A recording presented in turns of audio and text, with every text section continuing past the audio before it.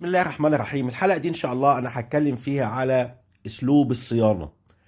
المشاكل اللي ممكن تقع فيها وأنت بتعمل عملية إصلاح. في بعض الأحوال نتيجة الظروف المحيطة بتضطر تعمل عمليات إصلاح مش بالمواصفات المطلوبة. يعني بتعمل بتمشي الحال بتعمل بتنقذ ما يمكن إنقاذه. الحلقة ديت صديق جالي كانت الحلقة دي متصورة في العيد الفطر اللي فات صديق بيشغل السيارة بتاعته لقى فيها لمبة التشيك انجن وفي مشكلة في التشغيل. بتغيب في التشغيل ممكن تبطل وهو ماشي. طبعا الدنيا كلها أجازات. جينا عملنا حطينا على جهاز الفحص شفنا العيب. طبعا بندخل على الكمبيوتر بنعمل ال read code ال engine. الكلام اللي إحنا حافظينه دايما ده. المهم الكمبيوتر أظهر دلوقتي إن في عندي مشكلة في حساس عمود الكامه الاداء خاص بالحساس مش مستقر يعني بيشتغل ويقف. طبعا إحنا اتعلمنا قبل كده لما تطلع كود زي ده ما ناخدش بعضينا نغير الحساس على طول. لازم نتأكد الكهرباء اللي داخلة واللي طالعة سليمة.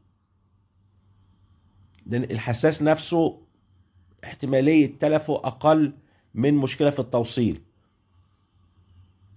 الحساس طبعا زي ما إحنا عارفين قبل كده موجود دايما عند رأس المكنة من فوق في وش المكنة من فوق يمين شمال قدام ورا في النص.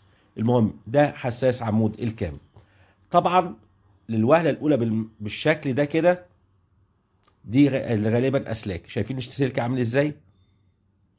سياره قديمة السلك بيتقال عليه بالمصري متحمص يعني المادة العازلة. البلاستيك نشف. شايفين مشقق في أسلاك مقطوعة وملحومة وفي سلك ناحية اليمين متعلق على شعرة سلك واحدة. والسلك التاني اللي هو أقصى اليسار مقطوع ومش واصل بيتهز. عشان كده بيديلي دايما الكود. ساعات العطل بيشتغل وساعات لأ. العطل بيظهر وساعات ما يطلعش. على حسب السلك بيلمس مع بعض ولا لا؟ نتأكد طبعا إن في أصلا كهرباء جاية صح ما حصلش شورت قفلة circuit على الدايرة دي. طبعا ال ignition on موصل طرف سالب على البطارية وجايب الأفوميتر على ال 6 فولت وبقيس كده آه آسف ال 40 فولت. وأشوف في كهرباء power جاي لي 12 و6 من 10 يبقى ال power فعلا جاي صح. الطرف الثاني اللي هو ال ground أو السالب ماشي موجود. شايفين الوضع عامل إزاي؟ طيب الحل هنا إيه؟ الحل طبعا هنعزل السلك هننضفه بالسبراي منظف الإلكترونيات الجاف ونلحم الأسلاك دي. امسك امسك يوسف كده. في هنا بقى مشكلة. هننضف هنا قلنا بننظف الإلكترونيات.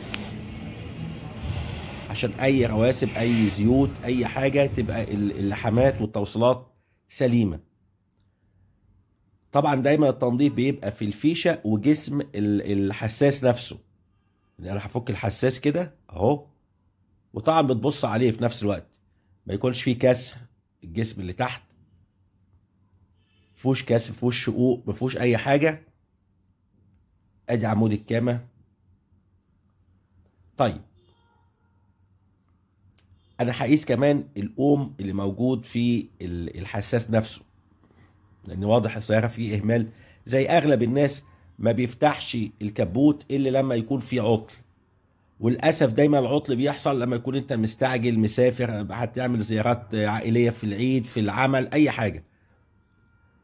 فهنا ما ادانيش شورت ما بين كل طرف والتاني ما يديش صفر ما يديش circuit ما يديش شورت يعني. تمام الحساس ده سليم كده. طيب أنا دلوقتي عايز أتأكد بقى إن الكهرباء أصلا أنا ال power شغال وال ground عايز دلوقتي أشوف الطرف اللي هو أقصى اليمين اللي هو ال signal ال signal ده أنا هشغل المحرك دلوقتي وأشوف دلوقتي المفروض ده يديني فولت فولت الشحن. كده أنا لسه ما شغلتش. 12 ونص. ده ال ground ده كده ال signal اللي هي ال 5 شغل يا محمود كده؟ دور. اهو أهي. اداني كده 5 فولت. يبقى كده الحساس كده شغال صح.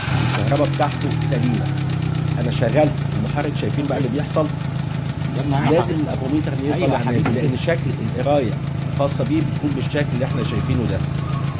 زي ما إحنا شايفين نمرة واحد. نمرة اتنين ده حساس عمود ال crank نمرة واحد حساس عمود الكامة بيبقى on off عشان كده الافوميتر ما بيلحقش يدي قراية. ما بيلحقش يديك صفر.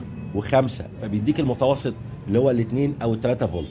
طيب أنا هنا جيت ألحم لقيت فيه بقى مشكلة حصلت. السلك اللي هو ناحية اليمين اللي كان متعلق على شعرة اتقطع.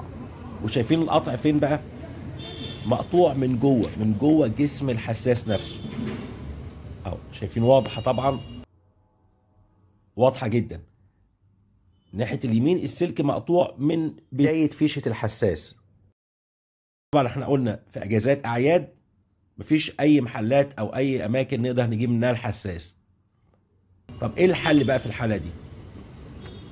طبعا بنضطر طبعا قلنا تاني أسلوب إصلاح مش سليم ولكن أنت تقدر تنقذ ما يمكن إنقاذه. واحد عايز يمشي بالعربية بتاعته يقضي مصالح. الحل دبوس اللي هو زي الستات بتستعمله في الطرح وهنستعمل الدبوس ده قطعه سلك. يعني أنا هحط الدبوس جوه البنة اللي فيها القطع والسلك اللي هو بتاع ده سلك ال signal. الإشارة هنلفه على الدبوس زي ما إحنا شايفين. هي الفكرة سهلة. بس أنا بتكلم أنت تقدر تشغل عقلك وتقدر تتخطى المشكلة بأفكار بسيطة. تاني عشان في ناس بتحب تكتب كومنتات. ده مش أسلوب إصلاح لكن أنت في مشكلة. مفيش محلات قافلة واحد عايز ياخد السيارة بتاعته ويكمل المصلحة بتاعته ويصلحها بأي شكل. بس طبعا مهم جدا التوصيل يكون ثابت العازل جيد جدا عشان ما يعمليش شورت ويعمل لي قفلة ندخل في مشاكل تانية. الدبوس دخل جوه لغاية البنة الخاصة بالحساس بالفيشة نفسها كده أهو. تلاقي كلها بعيده عن بعضها وهجرب ال signal هشوفها. شغالة ولا لأ؟ طالعه نازلة لأن ده بيديك متوسط القراية ال ground أنا طبعا شفته على ده كده ال power. ال ground طبعا جربته على بعلامه ال buzzer بال continuity بالتوصيل على سالب البطارية شغال. بس وبعد كده عزلت كل ده بشريط العزل اللي هو مجاز الشكرتون لغاية ما ربنا يسهل ويجي وبعد كده نعمل اللحامات ونبدل الحساس. طبعا بندخل على كمبيوتر الاعطال ونمسح العقد. ده أسلوب عمل. أي مشكلة تقدر تتخطاها. وطبعا اهم من كده يا جماعة الصيانة. دايما تعمل صيانة. ما نعملش الإصلاح لما العطل يحصل لأن بيعمل لي مشاكل كتير. كده مسحت. لمبه الشيك هي خلاص اتمسحت وكده تم الإصلاح. موضوع سهل بس تاني نخلي بالنا وإحنا بنصلح. الأسلوب ده بيكون تصليح مؤقت فقط لا غير. كده خلصنا كل حاجة مفيش أي أكوان. بس كده. والسلام عليكم ورحمة الله.